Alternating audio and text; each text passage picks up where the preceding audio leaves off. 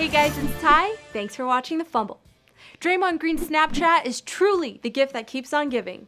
I'm guessing that the NBA PR people are probably going to shut it down fairly quickly, so follow him while you still can. His name is Money23 Green. After Team USA's final exhibition game last night, it was back to business for Draymond, snapping things he probably shouldn't. He rolled up on Kevin Durant while he was soaking in the cold tub, and KD flipped him off and told him to put that on Snapchat. Why you why you wasn't in our cold tub? Because I'm in a hot tub. As soon as I get out of here, I'm going to Hey, Put that on it's on there. Little did Durant know, he already was. Kevin was poking fun of the nude pic Draymond sent to the world by accident earlier this week. And KD wasn't the only one.